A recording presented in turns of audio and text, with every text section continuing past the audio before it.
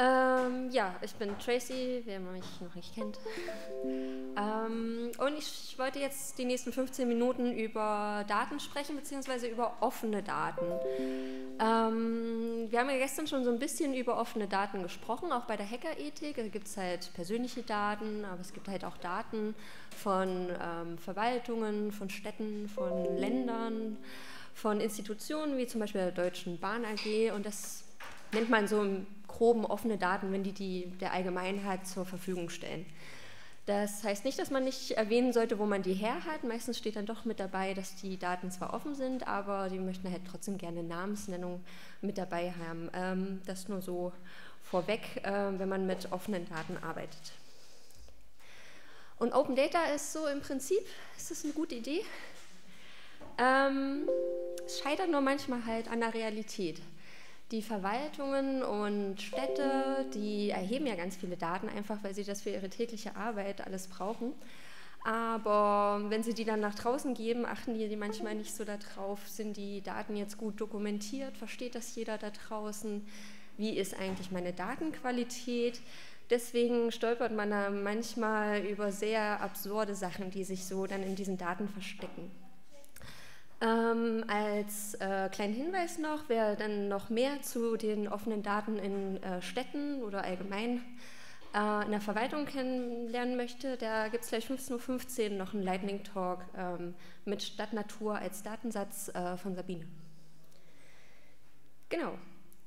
Und ähm, schöner, also ich, das bin ich total froh, dass tatsächlich ähm, sich eine Gruppe gefunden hast, die sich mit dem Baumkataster äh, von der Stadt Halle beschäftigt. Ähm, und zwar, genau, mit, mit dem Datensatz aus Halle. Ähm, das, den habe ich nämlich letzte Woche auch schon zur Vorbereitung als, ähm, für diesen Lightning Talk halt verwendet und habe dann nämlich so ein paar Sachen entdeckt, die ich jetzt einfach gern mal mit dem Programm OpenWeFine mit euch durchgehen wollen würde. Und zwar OpenWeFine ist ziemlich gut. Das äh, ist mal entstanden von Google. Ha, wer sonst? Hat sich ähm, ein Tool ausgedacht, mit dem sie ähm, chaotische Daten besser bearbeiten können und haben das dann auch als Open Source äh, freigegeben, ähnlich wie sie es wahrscheinlich auch bei Flutter gemacht haben.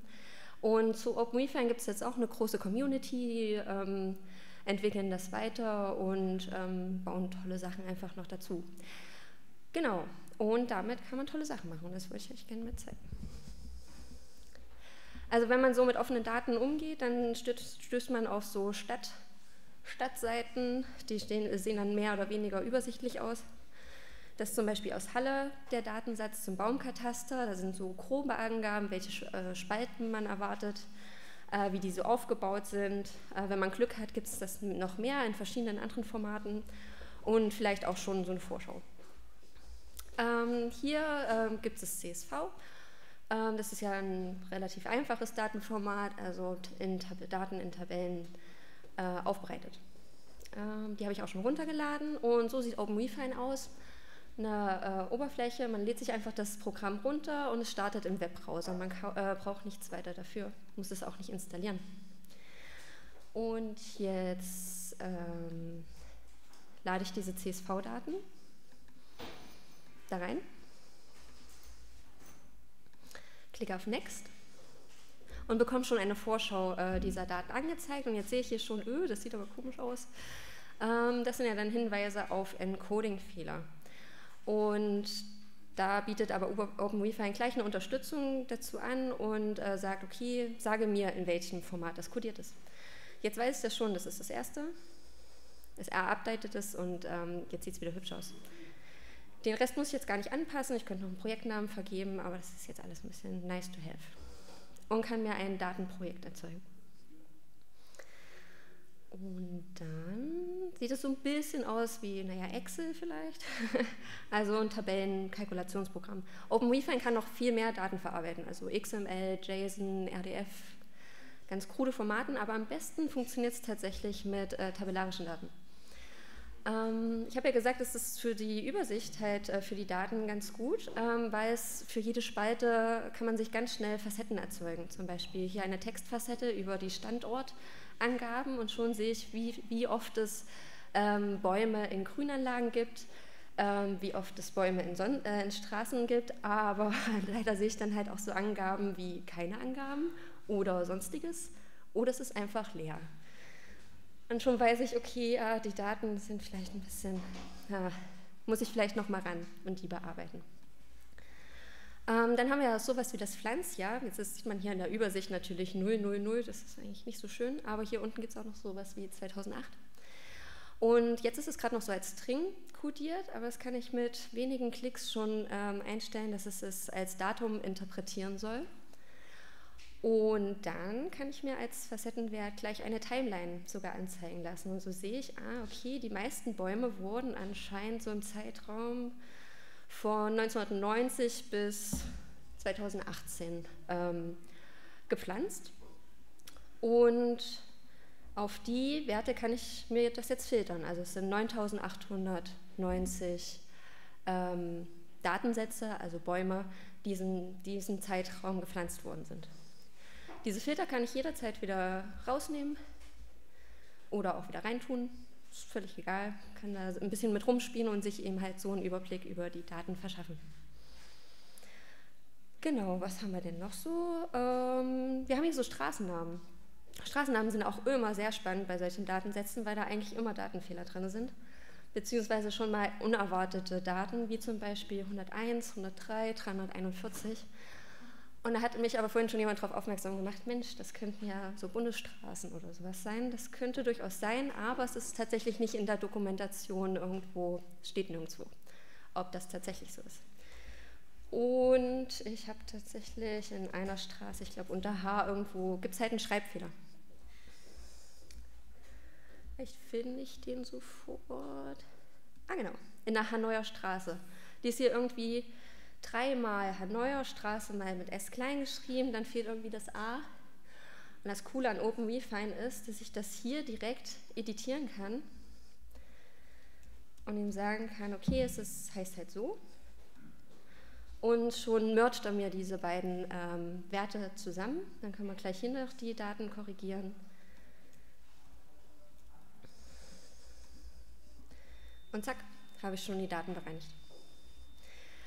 Ja, Datenbereinigung, also man kann viel mit ähm, OpenVFine machen, man kann die Daten transformieren, wenn man zum Beispiel viele unterschiedliche Namensschreibweisen hat, zum Beispiel Vorname, Nachname oder manchmal steht dann Nachname, Vorname oder mal der Vorname abgekürzt. Diese Sachen lassen sich clustern in OpenVFine und alles zusammen bearbeiten.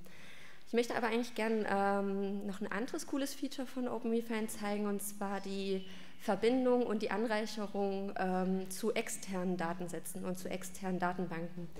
In diesem Fall gibt es nämlich eine Wikidata-Integration. Und ähm, so Bäume und so werden ja äh, gerne mit ihren lateinischen Namen bezeichnet. Das heißt, es ist sehr wahrscheinlich, dass in vielen Datenbanken einfach nur der lateinische Name steht. Deswegen würde ich mich jetzt auf den lateinischen Namen konzentrieren. Ich würde es aber gerne einschränken, damit wir jetzt nicht diese 35.000 ähm, Datensätze äh, jetzt bearbeiten. Deswegen mache ich mir noch eine kurze Facette und sage, äh, ich nehme mal nur den Amur Korkbaum und den babylonische Trauerweide. Ach nee, ist noch Include machen und die Balsampappe. Ich hoffe, die funktionieren jetzt. Und dann gibt es auch in OpenMeFine schon die schöne Funktion, es nennt sich Reconciliation. Ähm, damit kann ich die Wikidata mit diesen Werten abfragen. Und er gibt mir das Wikidata-Eintippen zurück. Er macht jetzt schon im Hintergrund schon eine Vorabfrage und schlägt mir jetzt schon gleich vor. Es dauert leider hier ein bisschen mehr was für ein Datentyp es in Wikidata denn sein könnte. In, der, in dem Fall ist es eine Taxon, also eine Taxonomie.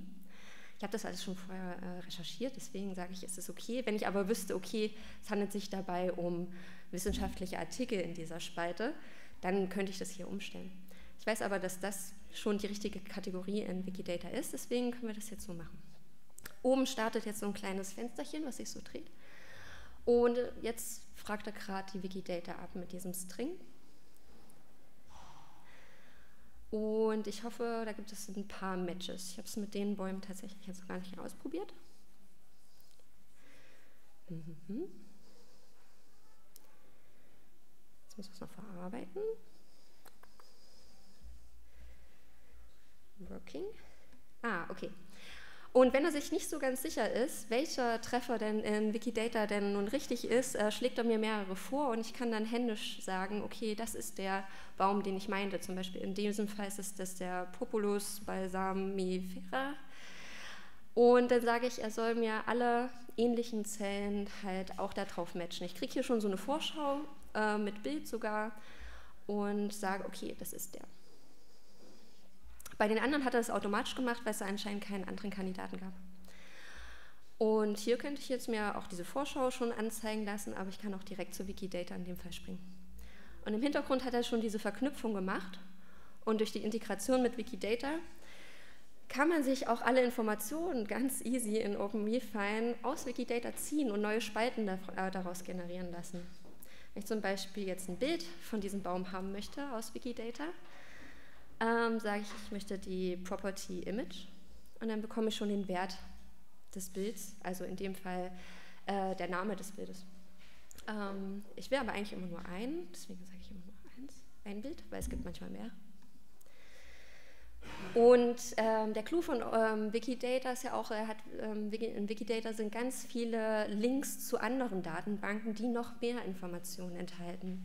In dem Fall weiß ich, dass die Enzyklopädie of Life mit enthalten ist.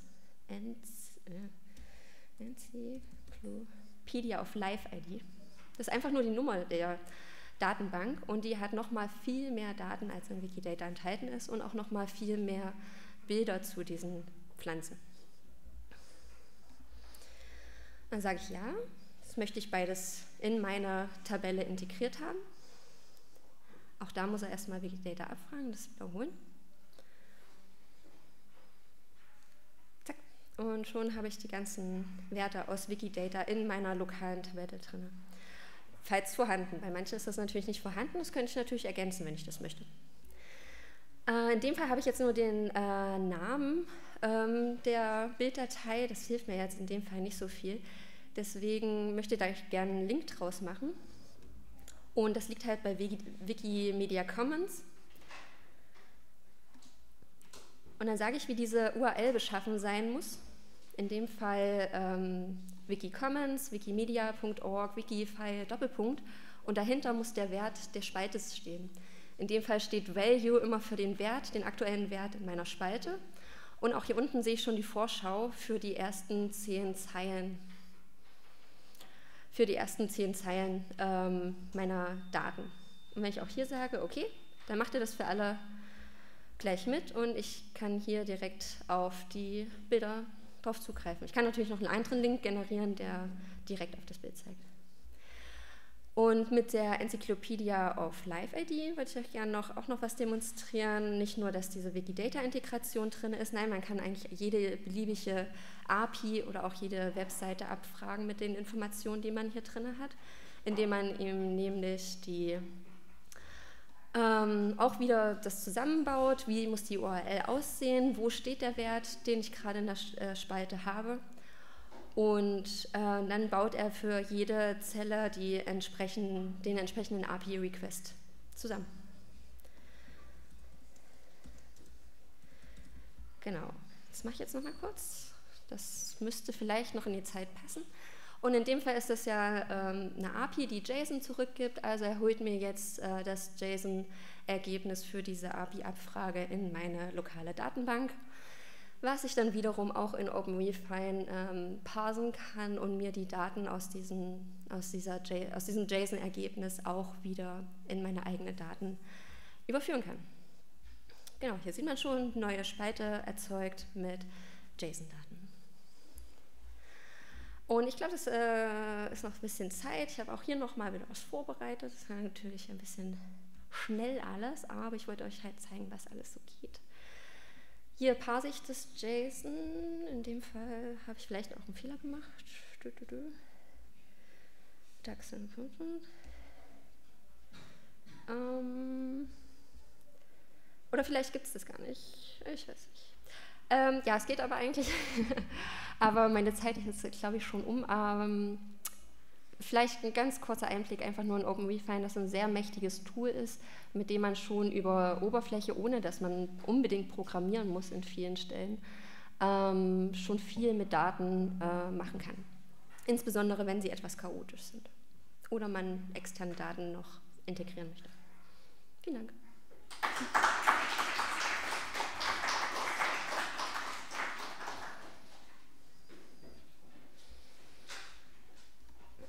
Fragen?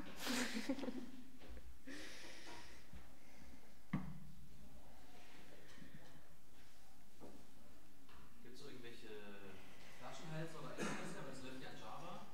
Also gibt es da irgendwo was, du sagst, man müsste es dann mal auf den Rechner auslagern, wenn du rechenintensive Sachen hast oder so? Auf jeden Fall. Ähm, es ist abhängig vom Arbeitsspeicher, wie viele Datensätze er verarbeiten kann. Und ähm, ich würde mal sagen, ab 500.000 wird es schon eng. Also es ist so für kleine bis mittelgroße Datensätze äh, gut geeignet. Alles, was drüber geht, muss man schon dann auf einem großen Rechner machen oder eben halt doch vielleicht programmieren. Das kann man das auch automatisieren, dass wenn du sagst, okay, du machst die Schritte immer wieder, ja. äh, erzeugt mir mal eine Funktion, die genau das, was ich jetzt manuell getan habe, später mal auf veränderte Datensätze anwendet. Sehr gut. Ähm, Im Hintergrund lockt OpenRefine alles mit.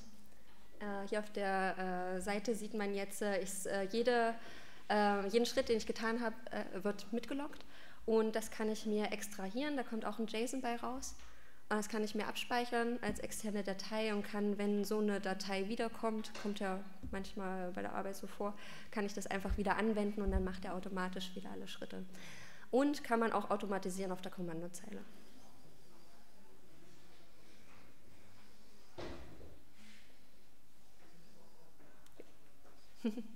Ja. Äh, den Datensatz hattest du jetzt schon auf dem Rechner oder hast du den oder holst du den, wenn du das Projekt aufmachst, immer live?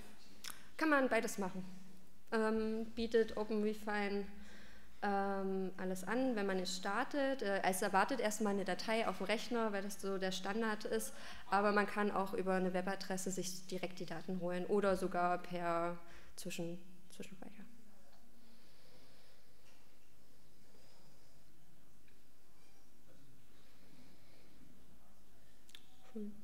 Dann der nächste. Vielen Dank.